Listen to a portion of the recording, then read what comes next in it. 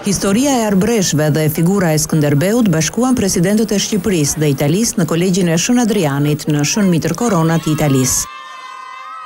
Pritje e ngrohtë dhe e përzemërt për presidentin shqiptar nga banorët e komunës me rrënjë arbëreshe, studentë, pedagogë dhe drejtues vendorë e fetarë të bashkësive arbëreshe.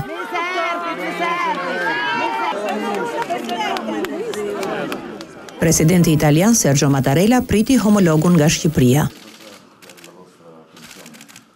Më pas të dy krerët e shteteve Ilir Meta dhe Sergio Mattarella zhvilluan një takim kokë më kokë. Dy presidentët biseduan për lidhjet e vjetra historike dhe të miqësisë Shqipëri-Itali, mbi partneritetin strategjik, si dhe për thellimin e bashkëpunimit të gjithanshëm mes dy vendeve dhe popujve tanë. Në sallën e Teatrit të Kolegjit, presidenti Meta mbajti një fjalim, ku theksoi se Shën Mitër Korona dhe Kolegji i Shën Adrianit janë djepi i arsimit dhe kulturës arbëreshe.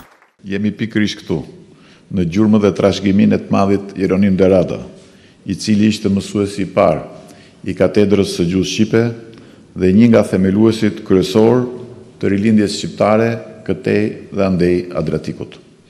Edhe pse larg mëmëdheut të tyre, komuniteti arbëresh krijoi dhe mbajti gjallë identitetin e vet kombëtar, i cili edhe sot Pas pesëqind e pesëdhjetë vitesh, ruan me dashuri e fanatizëm, gjuhën, kostumet, ritet, traditat e besimin fetar. Presidenti Ilir Meta shprehu mirënjohjen për kontributin e arbëreshëve në përjetësimin e figurës së Gjergj Kastriot Skënderbeut ndër shekuj.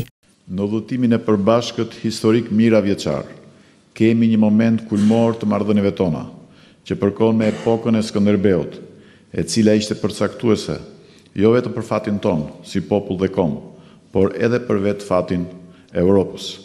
Heroi ynë kombëtar, Gjergj Kastriot Skënderbeu, për njëzet e pesë vite me radhë, jo vetëm mbrojti lirinë e kombit tonë, por u bë dhe mburojë për mbarë krishtërimin dhe qytetërimin europian. Presidenti i Shqipërisë vlerësoi Kolegjin e Shën Adrianit me dekoratën Gjergj Kastrioti Skënderbeu.